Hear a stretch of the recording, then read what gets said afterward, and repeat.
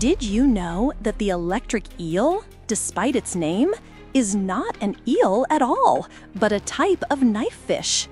It possesses an astonishing ability to generate powerful electric shocks, up to 600 volts, primarily for hunting and self-defense. These incredible creatures, native to the freshwaters of South America, employ a unique bioelectric field to navigate their murky environments and locate prey. They emit low-voltage pulses that act like a sonar system, detecting distortions in the field caused by nearby organisms. This allows them to pinpoint even camouflaged or hidden fish, making them incredibly efficient predators in their underwater world. When a target is identified, the electric eel unleashes a high voltage discharge, instantly incapacitating its victim.